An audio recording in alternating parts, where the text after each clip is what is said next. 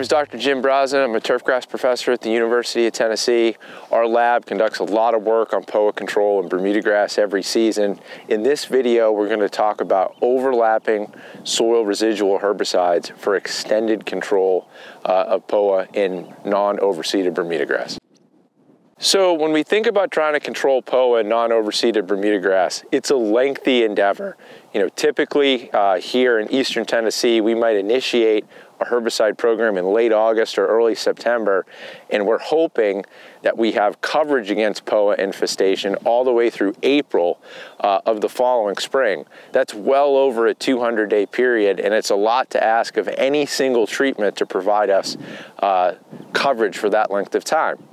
One of the things that's been uh, more widely used in recent years is herbicide mixtures that have com combinations of both pre-emergence and post-emergence herbicides paired together. Reasons for that are multifaceted. One, there's a resistance management piece. If we can diversify our modes of action, it's going to help us uh, manage herbicide-resistant populations.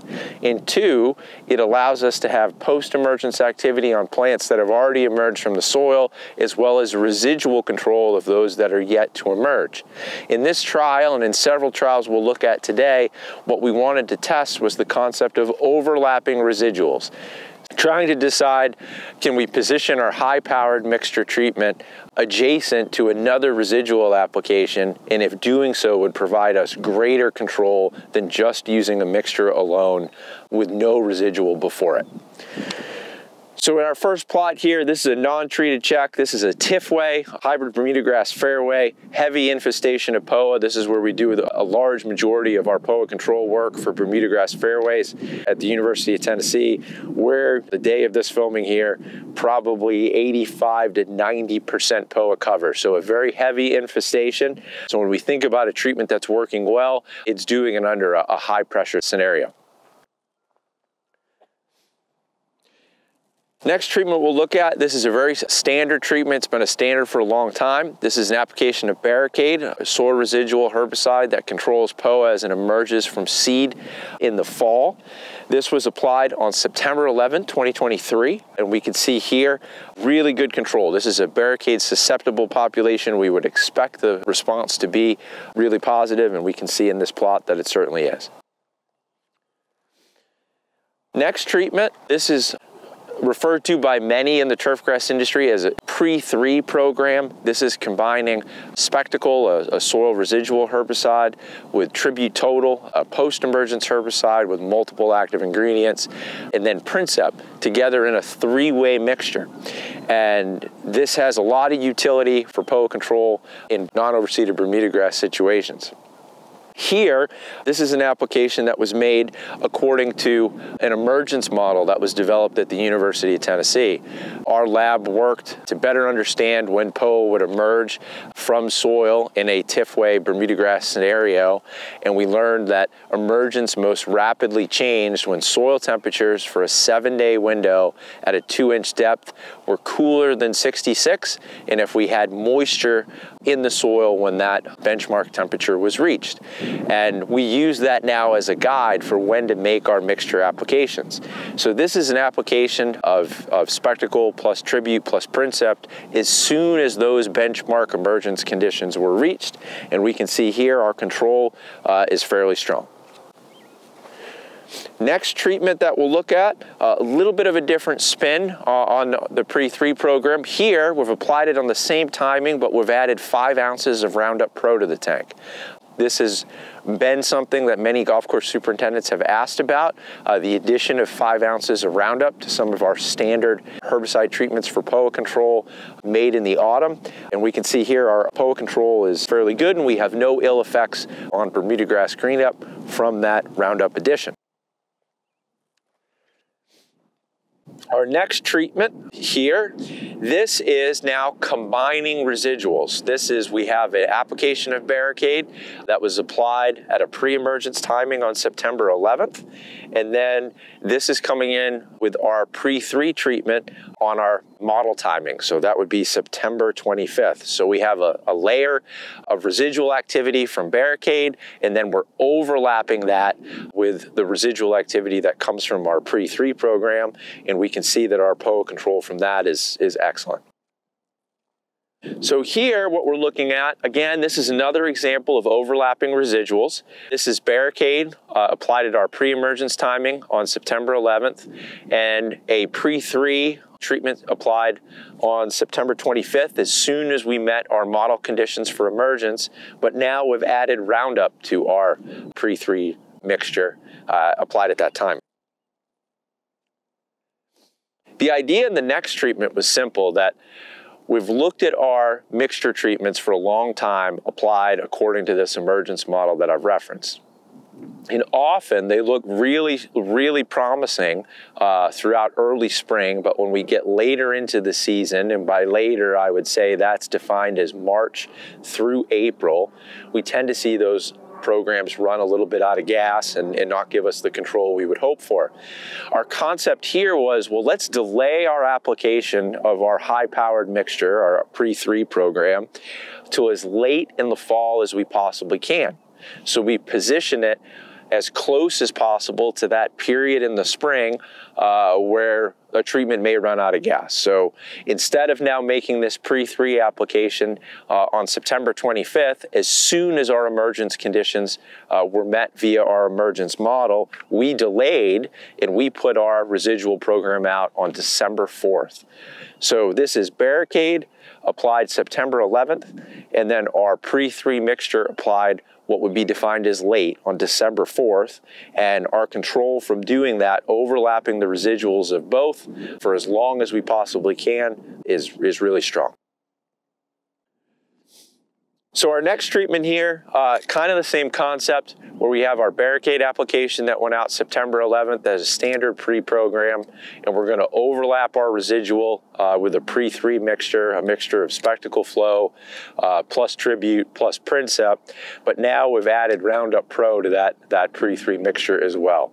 So we have barricade pre and then overlapping that with residuals of specticle flo plus tribute plus princep plus roundup with that going out late season december 4th so we're taking full advantage of the residual chemistry of both components of the regime here and our control is is really strong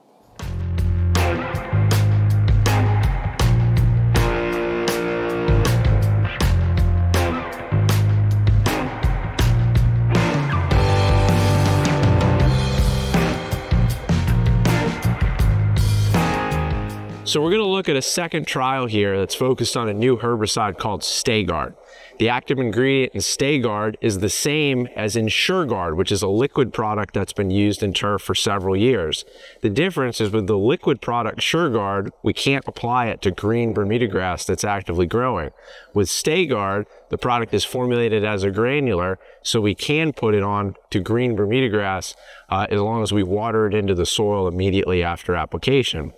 In the trial that we'll, we'll walk right now, what we're going to look at is applications of Sta-Gard alone or in an overlapping residual program and look at differences in control. So the first plot that you can see in front of me, this is a non-treated check plot, really heavy POA pressure again in a 419 fairway site, all you could ask for from a research grade level of infestation. Next plot, this is a single application of Sta-Gard. This was applied on September 18th at a rate of 300 pounds per acre. You can look at this and the control here as we filmed this in March, not a super high, but September 18th was a long time ago, right? And the, the residual control of Sta-Gard is not enough to go from September through March. Uh, there needs to be overlapping residuals uh, to give us the level of control that we want over a time domain that's that long. Next plot here, this is Sta-Gard again at that same 300 pound rate, but now we're delaying our application until later on in the year. This was applied November 13th.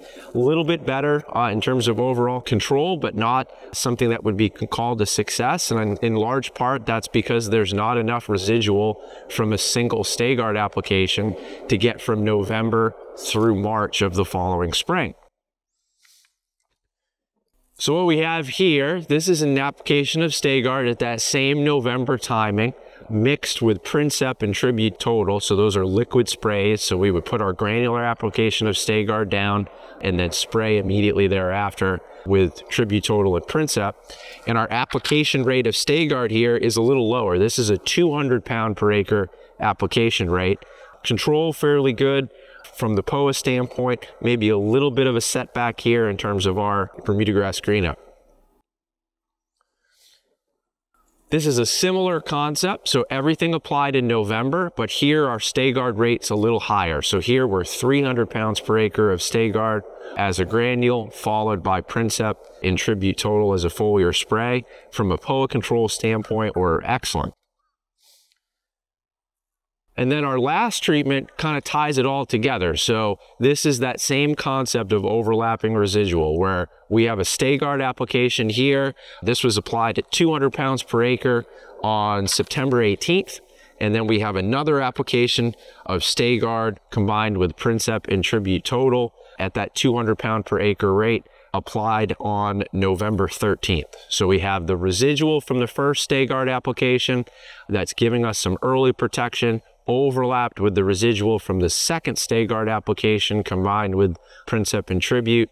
Layering those two things on top of one another has given us what we've needed to have a clean plot here in springtime.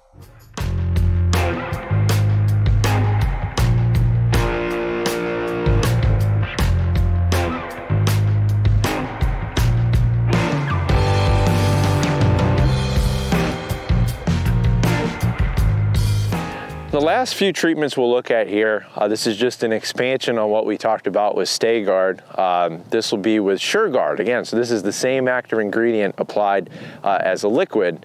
Uh, and as mentioned, we can't put that on green turf. We have to put that on Bermuda grass when it's dormant uh, in, in winter. So in this trial, we, it's really small. We just have three treatments to look at. The first treatment here is a non-treated check plot. Our next treatment this is Cheetah Pro, uh, which is a non-selective herbicide. Active ingredient is glufosinate mixed with SureGuard SC, the liquid formulation at 10 fluid ounces. This was applied on February 6th for post POA control in a dormant stand of Tahoma 31 Bermuda grass. We can see that our control here of POA has been fairly good. Maybe a little bit of delay in the green up of the Tahoma uh, from the application being made in February. And here for our last treatment, uh, all we've done is we have the same combination of Cheetah Pro and SureGuard, but we've reduced our Cheetah Pro rate. Uh, we've gone from 82 ounces in the previous treatment down to 40 ounces in this treatment. We can see from a control standpoint on the POA front, things are really good, and our Bermuda grass quality is higher because our glufosinate load has been reduced. We wouldn't recommend that you use Cheetah Pro standalone at these lower rates, but having an additive mixture with SureGuard can be helpful in getting a similar POA control response, maybe with a little bit lower dose of glufosinate at this dormant timing. That takes us to an end of this overlapping residual concept for this year. Uh, this is something that our lab's going to continue to work on and, and, and put trials out focused on the idea of overlapping residual herbicides, ideally in mixtures for POA control. If there are any treatments that are of interest to you, please let us know and we will do our best to work them into forthcoming trial work.